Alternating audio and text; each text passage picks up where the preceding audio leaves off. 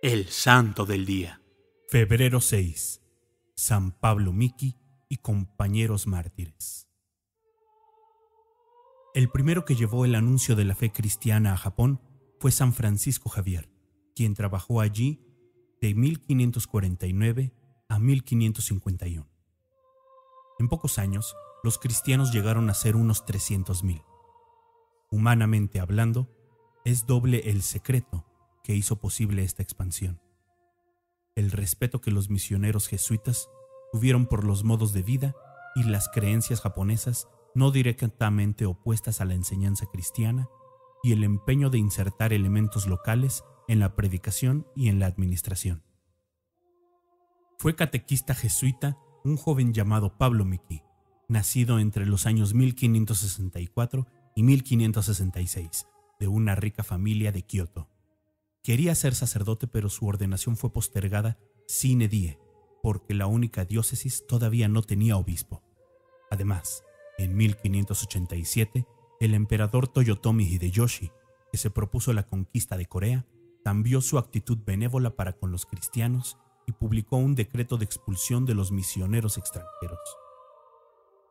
La orden se cumplió en parte. Algunos misioneros permanecieron en el país de incógnito y en 1593 algunos franciscanos españoles, dirigidos por Pedro Bautista, llegaron a Japón procedentes de Filipinas y fueron bien recibidos por Hideyoshi.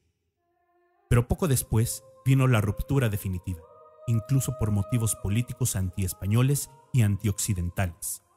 El 9 de diciembre fueron arrestados seis franciscanos, Pedro Bautista, Martín de la Asunción, Francisco Blanco, Felipe de las Casas, Francisco de San Miguel y Gonzalo García. Tres jesuitas, Pablo Miki, Juan Suán de Gotó y Santiago Quisay. Y quince laicos terciarios franciscanos a los que se les añadieron después otros dos que eran catequistas. Después de haberles cortado el lóbulo izquierdo, los 26 fueron llevados a Meako, a Nagasaki, para exponerlos a la burla de las muchedumbres, que más bien admiraron la heroica valentía que manifestaron sobre todo en el momento de la muerte, cuando fueron crucificados en una colina de Nagasaki el 5 de febrero de 1597.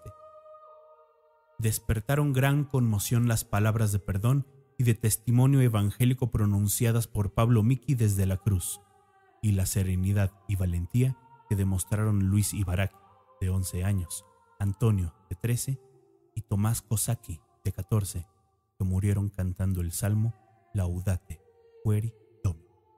San Juan Diego Radio, el mensajero de María.